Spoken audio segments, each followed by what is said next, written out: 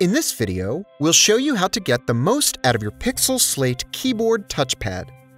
To move the pointer, move your finger across the touchpad. To click, tap or press the lower half of the touchpad. You can right-click by pressing or tapping the touchpad with two fingers. You can also right-click by pressing the Alt key, then clicking the touchpad with one finger.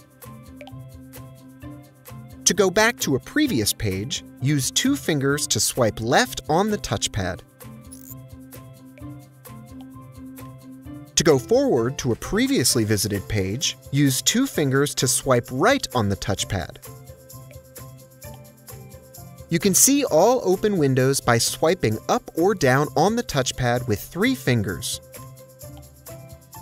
If you have Australian scrolling turned on, swipe up.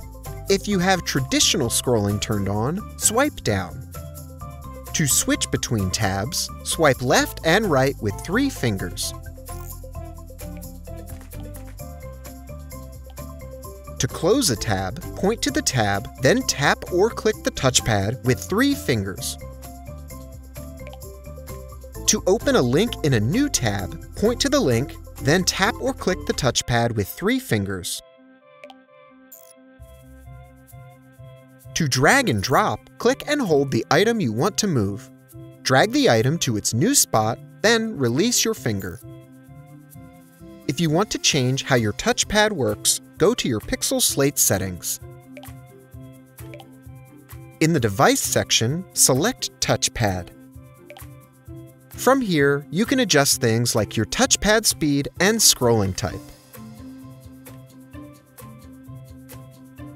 To learn more, visit the Pixel Slate Help Center.